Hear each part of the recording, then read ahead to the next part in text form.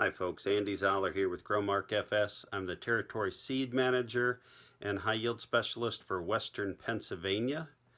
Uh, we're fielding a lot of questions here on May 23rd, oh, about 30% of the crop planted, about whether or not we should be replacing long season hybrids with shorter season hybrids.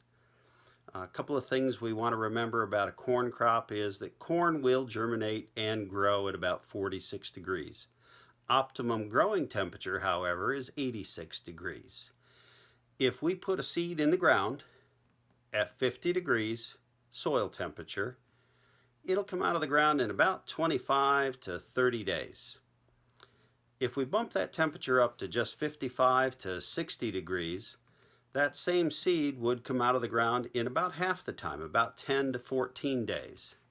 And if we bump that temperature up just a little bit more, and have our soil temps be 65 to 70 degrees, then we know that corn will come out of the ground in about five to eight days. And if we go over 70 degrees and sustain that temperature, we can have corn come up in as little as three to four days. So with all that in mind, let's keep our eye on the prize. We know that it's our job to protect yield at all cost. We know that the top two factors in producing a great corn crop are soil conditions at planting and seed placement. We already talked a little bit about soil conditions at planting because we talked about temperature. But the other piece in that is moisture.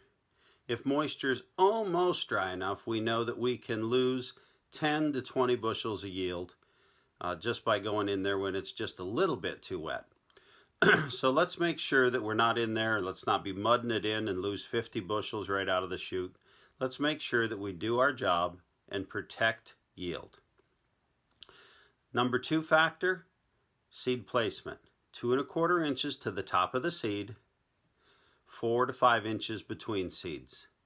We have to reduce um, competition between plants and we have to have every plant get out of the ground within 12 hours of one another. If we're going to have a good corn crop, remember, it's our job to protect yield. Finally, May 27th to May 30th is about the time that most farmers would start thinking about swapping out hybrids of long season for hybrids of shorter season in, in this area. If you've already planted your longest season hybrids and you're about 30% done, that probably isn't an issue for you. The hybrids you've currently ordered probably fit the bill just fine. Check with your Growmark seed specialist. See if there's any changes he thinks you should make don't forget the top two factors in planting a good crop, and have a great season.